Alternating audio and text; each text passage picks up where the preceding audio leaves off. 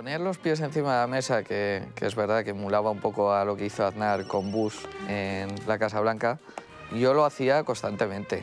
Lo hacía constantemente para que vieran los empresarios o para que vieran los que estaban conmigo, si el niño ponía los pies encima de la mesa y nadie le decía nada, era porque mandaba. Era un golpe de autoridad y de ego. Era un sentimiento por dentro, una adrenalina de poner los pies encima de la mesa, de decir, ha llegado papá. Y te sientas y hablas. Y hablas tranquilamente y si tienes que mandar callar, mandas callar. Y cuando decía, oye, nos tenemos que ir, nos tenemos que ir. Y nadie decía nada. Esa soberbia eh, era lo que a mí me, me daba mucho miedo porque efectivamente se le empezó a subir a la cabeza.